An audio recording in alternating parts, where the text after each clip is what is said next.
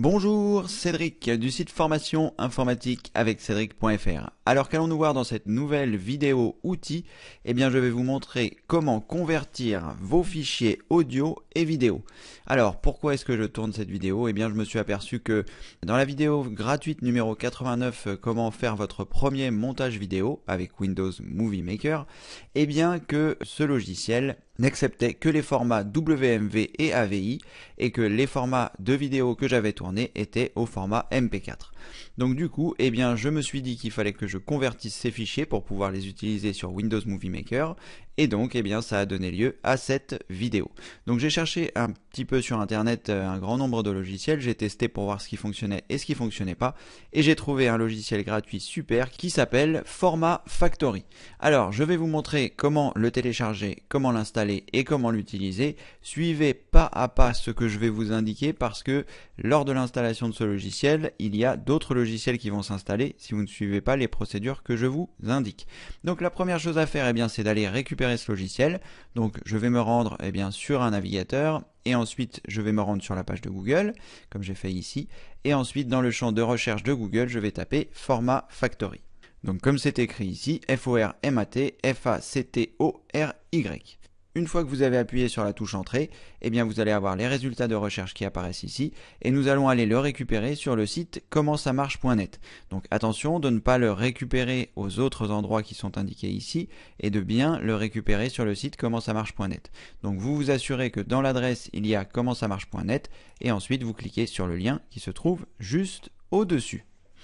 Une fois que vous avez cliqué sur ce lien, vous allez arriver sur le site de commentsamarche.net et là, eh bien, il vous suffit simplement de cliquer sur le bouton qui est là, télécharger. Donc je clique dessus. Je vais arriver sur une page qui m'explique un peu ce qu'est Format Factory et qu'il faut faire attention lors de l'installation. Donc ça, c'est ce que je vais vous montrer tout à l'heure. Ici, nous allons appuyer sur le bouton vert qui est là, télécharger. Et là, eh bien, le téléchargement va démarrer. Alors, en fonction évidemment de la vitesse de votre connexion Internet, ce sera plus ou moins long. Le fichier est assez lourd, je crois qu'il fait aux, alentours de 50 ou 70 mégas. Donc, eh bien, vous allez le récupérer à la vitesse de votre connexion Internet. Donc, n'hésitez pas, vous prenez votre temps, il n'y a pas de souci. On attend que ce soit terminé de télécharger. Et une fois que c'est terminé, eh bien, je vous montrerai comment faire. Donc voilà, le téléchargement c'est terminé, donc euh, dès lors je peux fermer mon navigateur et je vais retrouver ce fichier puisque je l'ai téléchargé avec Edge dans téléchargement, mais si vous utilisez aujourd'hui Google Chrome, peut-être qu'il sera directement sur votre bureau si toutefois vous avez choisi cet emplacement d'enregistrement des fichiers. Alors je le place sur mon bureau et ensuite je vais l'exécuter en cliquant deux fois dessus. Donc pour l'instant, pas de difficulté, vous cliquez deux fois dessus pour exécuter l'installation de ce logiciel. Et dans la première fenêtre qui apparaît, c'est le contrat de licence de l'utilisation du logiciel. Donc il n'y a aucun souci, vous pouvez cliquer ici sur J'accepte. C'est après, voilà, c'est dans l'étape suivante où il va falloir faire attention. Alors en fonction du moment où vous allez le récupérer, peut-être vous n'aurez pas exactement les mêmes choses que ce que j'ai à l'écran, mais bon, l'idée c'est que vous compreniez bien comment il faut faire. Donc là, on arrive, vous voyez, sur des offres sponsorisées et c'est pas toujours très clair de savoir comment est-ce qu'on va faire pour ne pas les installer. Donc ici, il vous allez être obligé de cliquer ici comme c'est indiqué et de décocher la case qui se trouve là. Première étape. Et ensuite, il y a un autre logiciel qui est ici, donc vous cliquez à nouveau ici et vous décochez les cases qui se trouvent également ici. Là, en théorie, on en a fini et faites bien attention quand vous le ferez, peut-être que ce sera un petit peu différent, mais vous comprenez le principe. Et j'en profite pour remettre une couche sur ce que je vous dis à chaque fois et ce que je vous ai également dit dans la formation spéciale débutant dans la vidéo numéro 9. Faites très attention lorsque vous installez des logiciels de ne pas laisser les cases cochées parce que sinon d'autres logiciels vont s'installer.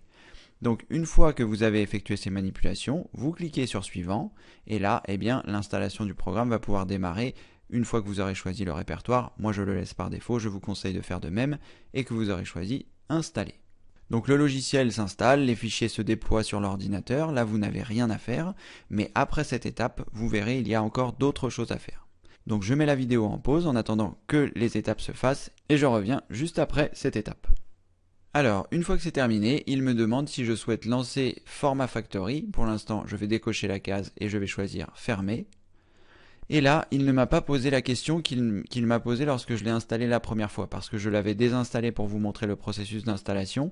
Mais là, en théorie, avant même que vous puissiez lancer Format Factory, vous avez une autre fenêtre qui apparaît, et avec des cases qui sont cochées, que je vous conseille également de décocher, surtout sur le programme sponsorisé qui est en second. Donc là, on ne le voit pas malheureusement parce que j'ai installé tout à l'heure et que certainement il ne me le repropose pas. Mais pensez bien à décocher les cases et ensuite vous pourrez cliquer sur OK. Faites tout le temps très attention aux fenêtres que vous voyez. Lorsque vous ferez l'installation, peut-être ce ne sera pas du tout comme je viens de vous le montrer, mais néanmoins, vous devez être très vigilant. Voilà, maintenant que le programme est téléchargé et installé, nous allons pouvoir le lancer et je vais vous montrer eh bien, comment convertir vos fichiers. Donc dans le cas présent, j'ai récupéré des fichiers MP4 de mon téléphone au format vidéo et je souhaiterais les transformer soit en WMV, soit en AVI pour qu'ils puissent être lus par Windows Movie Maker. Donc vous lancez le logiciel en cliquant deux fois sur l'icône, ah voilà, très bien. Eh bien, la fenêtre dont je vous parlais, c'est celle-ci. Donc lorsque vous avez double-cliqué sur Format Factory, vous avez ces trois cases de cocher. Donc vous allez décocher les cases, il est inutile que euh, installe des choses inutiles. Donc vous décochez ces cases qui sont là et ensuite surtout vous décochez la case qui est ici, sinon il va vous installer encore un logiciel. Donc une fois que vous avez tout décoché, vous cliquez sur OK et là le logiciel va se lancer. Donc je vais passer en plein écran.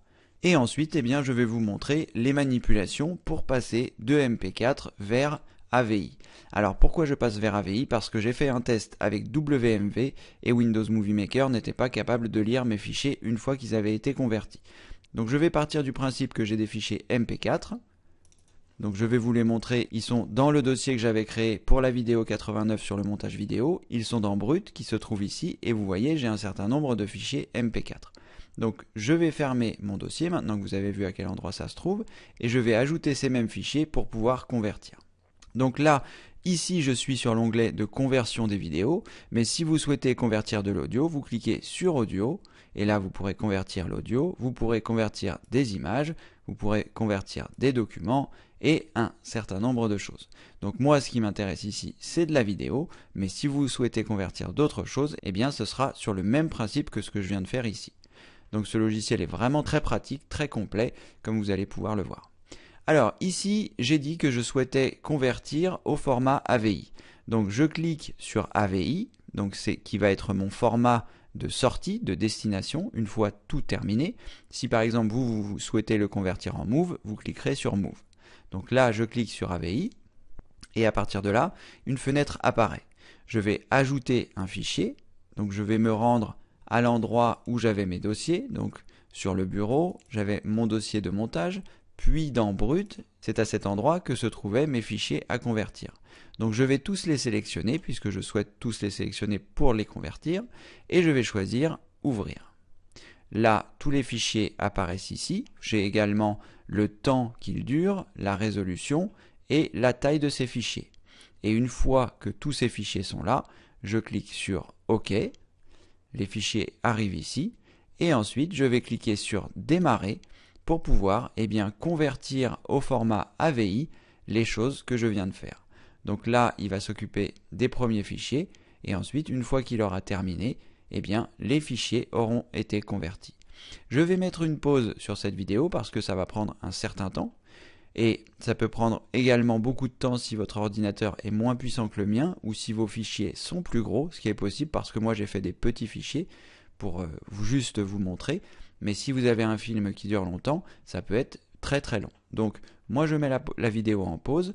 Vous, il faudra que vous patientiez le temps que le pourcentage arrive à 100 évidemment, et ensuite vous le retrouverez dans le dossier de destination qui moi me l'a enregistré sur E, mais vous ce sera peut-être sur un autre disque dur. On regardera ça tout de suite après, une fois que les conversions auront été terminées.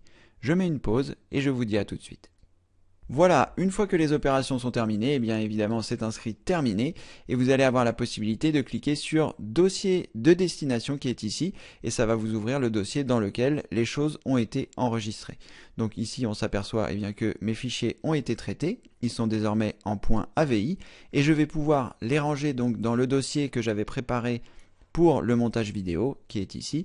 Euh, je vais donc pouvoir les ranger dans Brut, et de pouvoir les mettre ici, ce qui va me permettre eh bien, de continuer ma vidéo sur le montage vidéo Windows Movie Maker.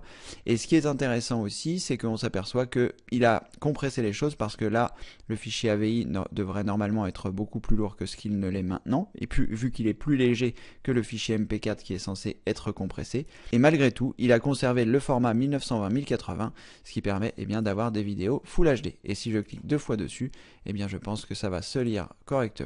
Voilà. Donc la qualité a été un peu dégradée, je m'aperçois de ça euh, par rapport au fichier original, mais bon, et c'est malheureusement euh, ce qu'il faut faire si vous souhaitez faire des films avec Windows Movie Maker. Ce sera certainement une chose que je vous déconseille évidemment. Voilà, vous savez désormais vous servir du logiciel format Factory. Vous choisissez le format de destination en cliquant ici. Ensuite, vous choisissez vos fichiers en choisissant un fichier ou plusieurs fichiers, c'est à votre convenance. Et ensuite, une fois que vous avez réalisé ces manipulations, vous cliquez sur démarrer, la transformation se fait et vos fichiers seront convertis. Ça marche aussi pour les fichiers audio, pour les fichiers images, pour les documents. Ça, je ne sais pas ce que c'est. Si, vous avez sûrement la possibilité de mettre vos DVD vers des fichiers vidéo, vos CD musicaux vers des fichiers audio, etc., etc. Donc, vous avez énormément de choses que vous pouvez faire grâce à, ce logiciel. Je vous laisse le découvrir. Vous avez compris le principe pour un. Eh bien, le principe s'applique pour les autres. Vous pourrez faire vos essais. En tout cas, vous savez désormais comment convertir vos fichiers audio et vidéo. C'était Cédric du site formation informatique avec cédric.fr pour une nouvelle vidéo outil. J'espère que celle-ci vous a plu et je vous dis à très bientôt pour une prochaine vidéo évidemment. Merci, au revoir.